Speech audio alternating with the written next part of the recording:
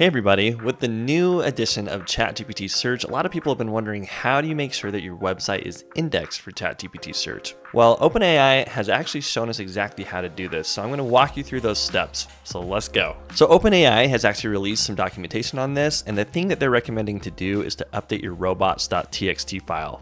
And they have three different bots that can crawl your site, but the main one that you would want to enable for the new ChatGPT search functionality would be this OAI search bot. And you can see here in the documentation that they actually give you the full user agent string to be able to add to your robots.txt file. Now, these other ones you could potentially add, but they're not necessarily used for search. Um, if you are okay with your data being used in their training models, um, I don't even know if that really matters, right? They've, they've seemed to just kind of taken everything and swallow up everything and in their training models, but they claim that you can actually disallow them from using your content. So if you have content that you do not want OpenAI to be able to use in their training models, you could also use these other bots and change it to the disallow function inside of your robots.txt file. Now, if you don't even know what a robots.txt file is, Google actually has some really good documentation on how to create one, the rules that you can create.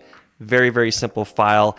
Any text editor can make this um, on a PC. You can use Notepad, you can use Google Docs if you wanted to create this file, um, but this just has to live at the root of your directory. So if you're like me and you're using WordPress, you're most likely using an SEO plugin. I'm using Yoast, and Yoast does have the ability to allow you to edit the robots.txt file. So I'm going to show you how to use Yoast to be able to change a robots.txt file to make sure that you have the OpenAI bot enabled inside of that file. So inside of WordPress, you're going to go down to your backend menu and you're going to go to Yoast and you're going to click on Tools. And inside of Tools, you're going to see a File Editor option. So you're going to go ahead and click on the File Editor. So you're going to have two options here. You're either going to have an existing robots.txt file that you can edit, or there's going to be a button down here that says to create a robots.txt file. So I've already done that, and here's my robots.txt file. So if we go back over to the documentation from OpenAI, the full user agent string would be this. So you would want to copy this.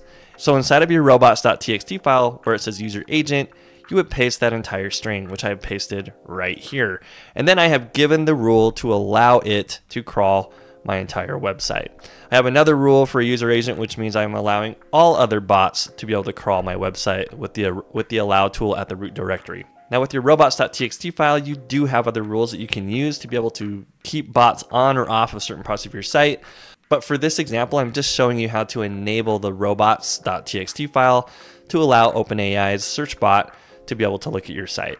Now, once you have made these changes, you would simply just save changes to the robot.txt file. Now back to the documentation from OpenAI, it says, please note that it can take 24 hours from a site's robots.txt file update for our systems to adjust.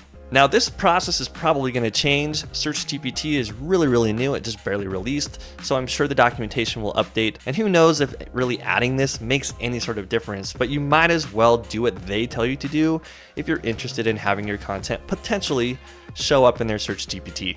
And that's pretty much all I have for you guys today. If you like this video, make sure that you hit like, subscribe, and turn on notifications so that you'll be notified when we put out more helpful content like this.